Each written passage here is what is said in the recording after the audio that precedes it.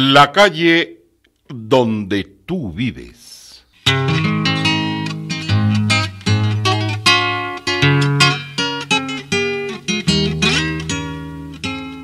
Héctor Gaitán saludándoles amigos, invitándoles a recorrer imaginariamente nuestras calles, barrios y plazas, desde la Palmita hasta la Reforma y de la Reforma al Martinico. Historia, leyenda o fantasía. Como me lo contaron te lo cuento porque todo cabe en lo posible.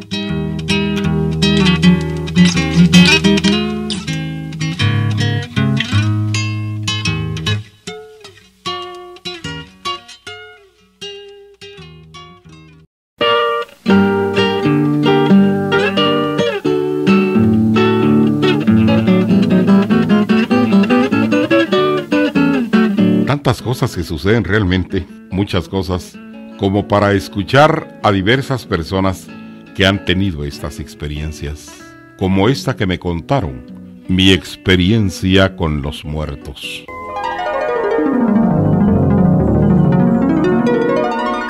Don Mariano Casasola, originario de Jutiapa, laboraba para uno de los juzgados de la Corte Suprema de Justicia en el año de 1970 le enviaron a Quetzaltenango, creo que a uno de sus municipios o a la ciudad, no recuerdo bien. Cuando salía don Mariano por las tardes, se encaminaba a un café cercano del pasaje Enríquez.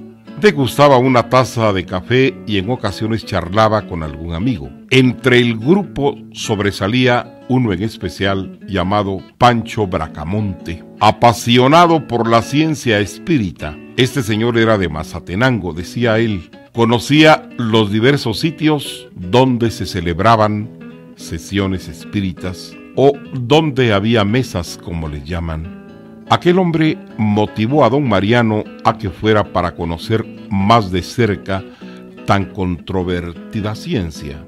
Primero le llevó libros para convencerlo y finalmente don Mariano aceptó asistir a una de estas sesiones donde según los asistentes se hacen presentes diversos espíritus de notables personalidades que ya han fallecido, sin faltar los espíritus chocarreros que ofenden con su presencia estos sitios donde los invocan.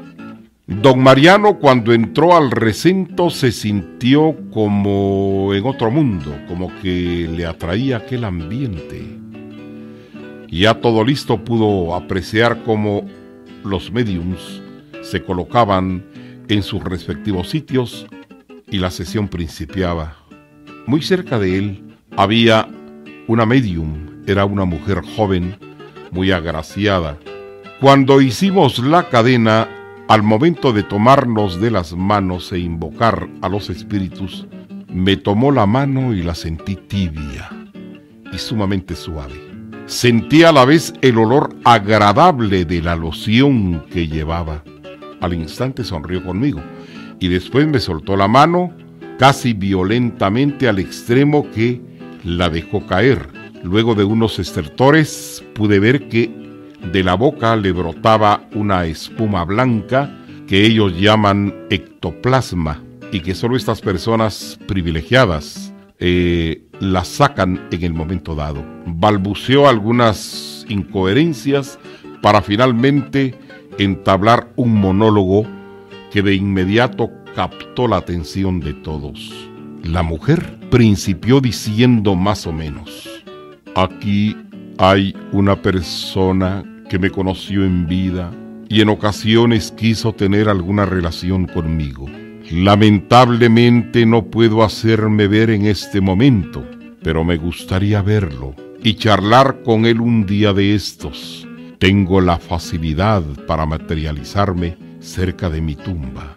Si llega, le espero y charlaremos, por supuesto, si él no tiene miedo.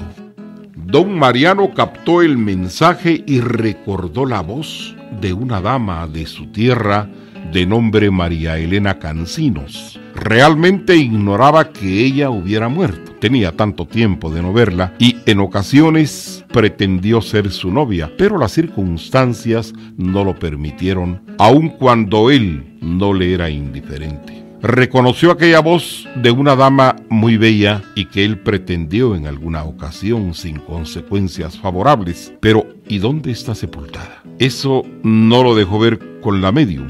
Todo quedó en la más profunda duda. Esa noche, después de pensar en la sesión espírita, fue reconciliando poco a poco el sueño. Durante la función onírica, el sueño, el alimento más seguro del hombre, don Mariano pudo ver nuevamente a María Elena. La vio como en sus buenos tiempos, bella y llena de salud, hermosa y con sus formas naturales. Hola Mariano, te ves bien y eso me agrada mucho. Me gustaría que platicáramos como te lo hice ver en la sesión y me gustaría que fuera el viernes por la mañana en el cementerio general. Justamente te esperaré al pie de la tumba del general Miguel García Granados. Llegas solo por favor, porque de lo contrario no podré materializarme. Te espero a las 10 de la mañana. Como yo laboraba en Quetzaltenango, pedí permiso, me lo concedieron y me fui para la capital para estar a la hora indicada en el punto aludido. Pensé que María Elena estaba sepultada en el cementerio general de la ciudad de Guatemala. Cuando entré al cementerio eran las 10 menos cuarto de la mañana. Iba con tiempo suficiente.